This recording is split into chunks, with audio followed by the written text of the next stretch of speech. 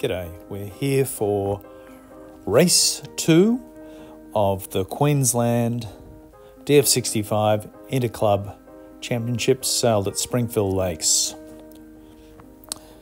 Going in for a start. What's interesting here is we have 26 boats starting on a very big start line.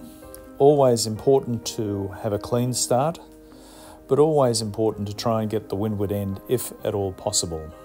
And um, you see here 314 and 52 get away pretty cleanly.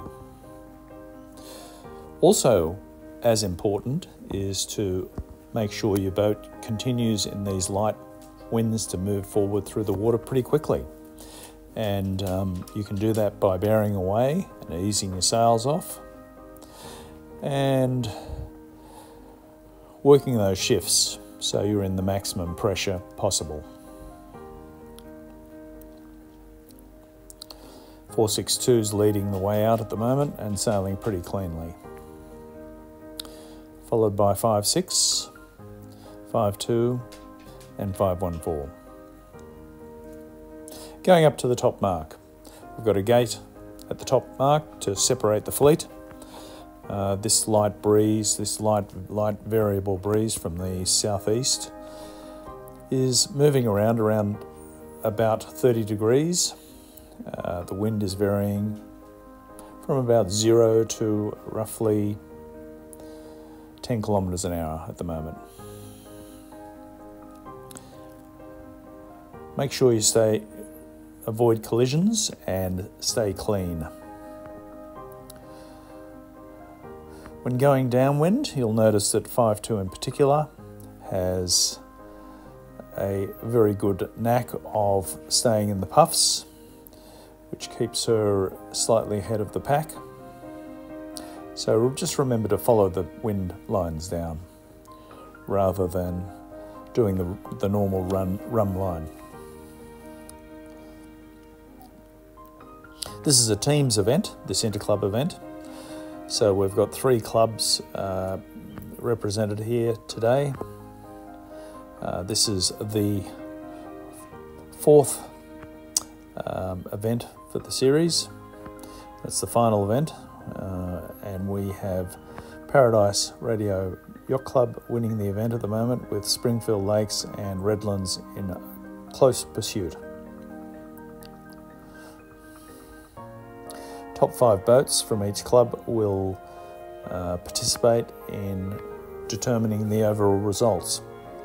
Interesting, what you see here is some very good covering from um, 370. 370 did the beginners to master class just recently and is sailing very quickly through the water. Uh, so well sailed, Craig.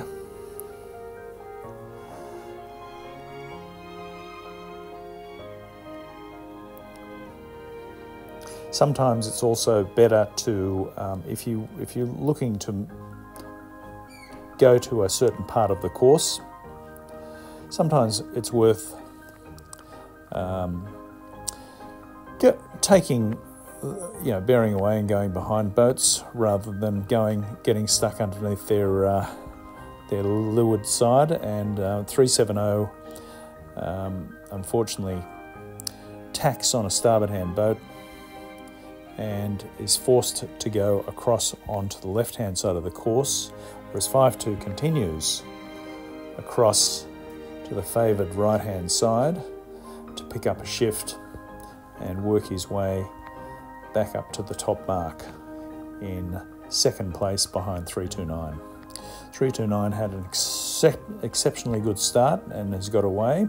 She's roughly oh, 20 metres uh, ahead of 5-2 at the moment.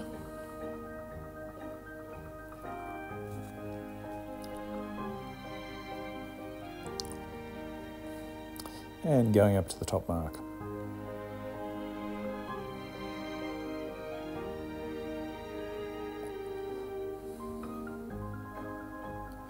Beautiful conditions here. We did have a cyclone come in the afternoon, which um, did affect the results and also the uh, the racing as the racing was finished early as a result of uh, the cyclonic conditions we experienced with um, roughly three inches of rain in a matter of hours.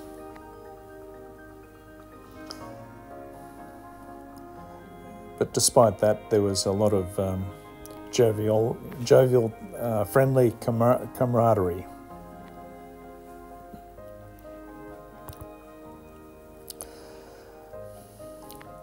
These are terrific events with, with big fleet sailing as you have to be on your wits and um, ensure that you're sailing as cleanly as possible, but more so sailing into those breeze lines.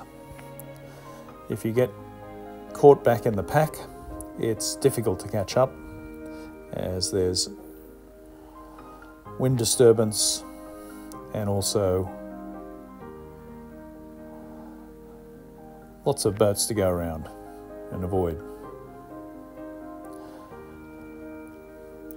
Coming to the bottom mark, we've got uh, in first place, we have 329, um, who has been affected by a bit of a, a uh, knock there, and he's coming back on a knock, and there's only a boat length in it now between 329 and 52. 329 recently won the Victorian State Championships. 52 is the current Queensland champion, champion having won that event eight years for eight years, with one uh, year being taken by 329. That was the 2023 state championships. So we've got two state champions coming up to the, uh, the finishing line here.